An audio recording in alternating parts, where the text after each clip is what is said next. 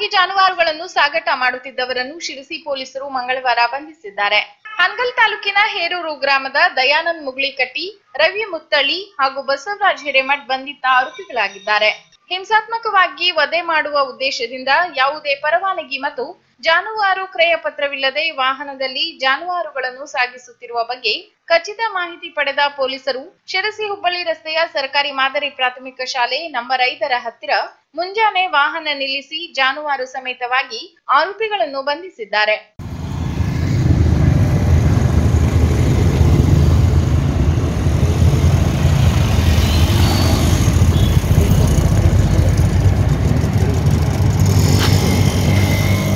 ಇನ್ನು ಆರೋಪಿಗಳಿಂದ ಅಂದಾಜು ಎಂಟು ಸಾವಿರ ರೂಪಾಯಿ ಮೌಲ್ಯದ ಐದು ಜರ್ಸಿ ಗಂಡು ಕರುಗಳು ಹಾಗೂ ಕೃತ್ಯಕ್ಕೆ ಬಳಸಲಾದ ವಾಹನಗಳನ್ನು ಪೊಲೀಸರು ವಶಕ್ಕೆ ಪಡೆದಿದ್ದಾರೆ.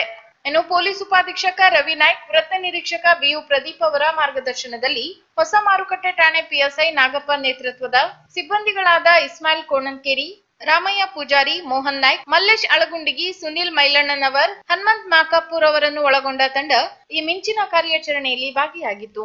ಇನ್ನು ಈ ಕುರಿತು ಹೊಸ ಮಾರುಕಟ್ಟೆ, ಪೊಲೀಸ್ ಠಾಣೆಯಲ್ಲಿ ಪ್ರಕರಣ ದಾಖಲಾಗಿದೆ.